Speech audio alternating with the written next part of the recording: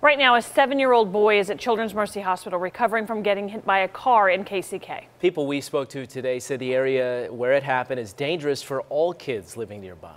41 Action News reporter Sarah Plake joins us now from 3rd and Troup there in KCK, where that boy was hit. Sarah, what did you learn today? Well, I learned that many kids go in and out of this computer center every single day, a lot of times having to cross this street here. Now, the people that run the computer center say that speed is a major issue in the street and they're pushing for crosswalks, but they also say it shouldn't have taken something like this to push for change. A lot of kids uh, across the street. We typically get about 30 of those kids in here every day. The seven-year-old boy who was hit by an SUV on Wednesday afternoon is one of the kids who visited Connecting for Goods Computer Center. It's a popular after-school spot for folks who live at the Juniper Gardens apartments. Went across the street to go visit his family.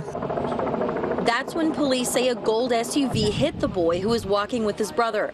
The boy was in critical condition. Police say he's improving, though staff at Connecting for Good say he may have suffered brain injuries.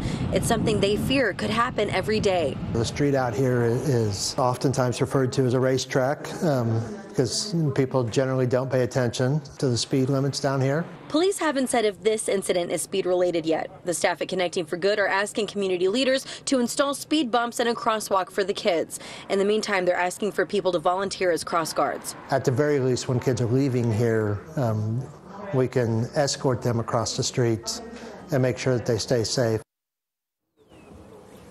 Police officers were here this afternoon to talk to the kids about what happened and how to stay safe. And I talked to a couple of city commissioners who say they are putting in calls to the Public Works Department to see about what safety implements they can put here at 3rd and Troup. In KCK, I'm Sarah Plake, 41 Action News.